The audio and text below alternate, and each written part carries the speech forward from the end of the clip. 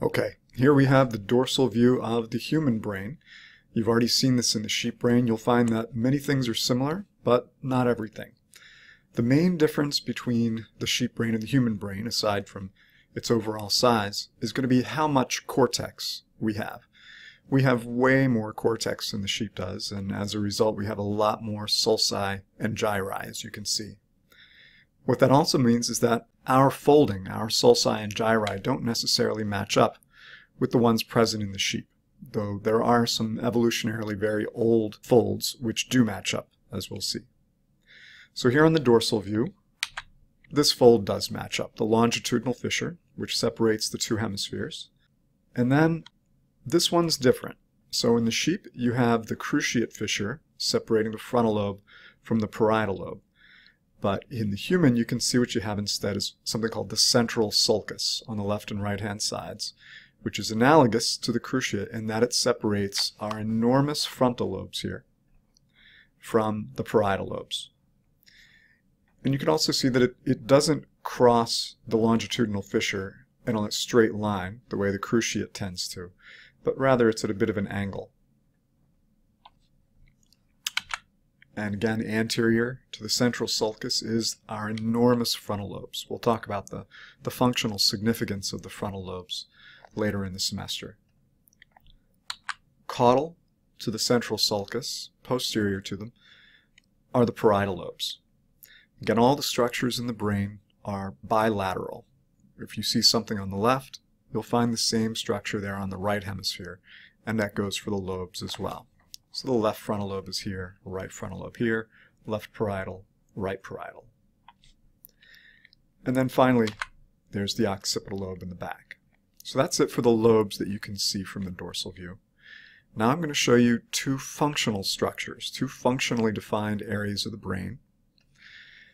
The first is the precentral gyrus. That's actually the name of the structure itself. The function of this area is the primary motor cortex. So this is the last part of the cortex that uh, it processes movement signals before those signals travel down to the spinal cord and control parts of the body. And then just caudal to the central sulcus is the postcentral gyrus, which is also primary somatosensory cortex. So this is the first part of cortex that gets input from the body about touch. So whenever you feel touch on different parts of the body, you'll actually get activity in different parts of primary somatosensory cortex here. You can see that primary somatosensory cortex is in the parietal lobe. I don't have it overlaid here, but this would be primary somatosensory cortex in the left hemisphere. It's at the anterior part of the parietal lobe. And then here, this would be the primary motor cortex in the right hemisphere. I don't have it highlighted, but again, if you see it on the left-hand side, you'll find it in the same spot on the right-hand side. Next up is the lateral view of the human brain.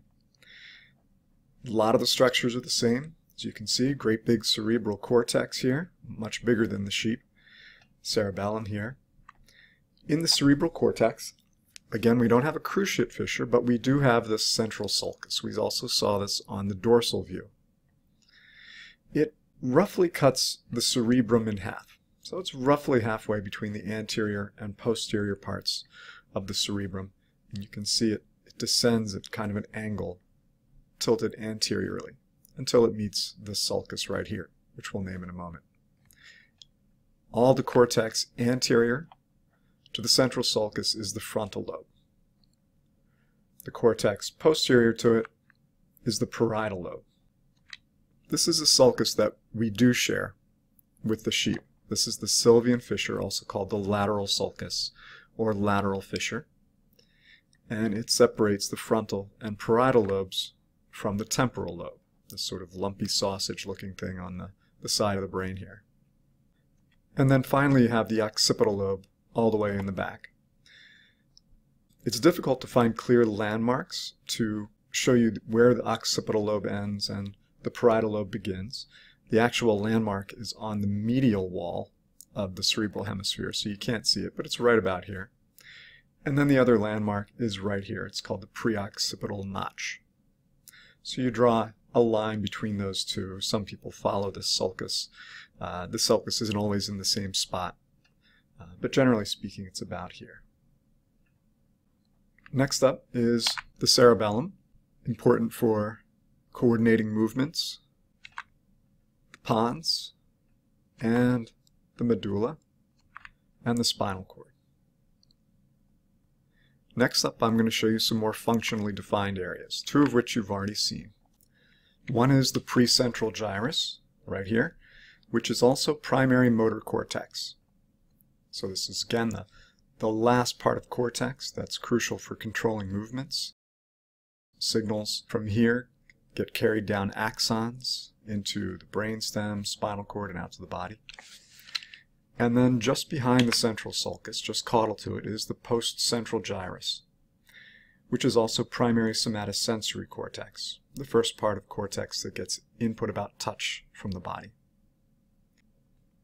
The most posterior part of the occipital lobe contains primary visual cortex. It actually extends pretty far onto the medial wall, as we'll see later. And this is the first part of cortex that starts processing information about vision, information from the eyes. Here on the superior temporal lobe is primary auditory cortex, the first part of cortex that gets input from the ears. It actually extends into the Sylvian fissure, a fair ways. And then Wernicke's area, right here. This is an area that we'll learn about at the end of the semester. This area of the brain is crucial for language processing. And over here is Broca's area, another important area for language production.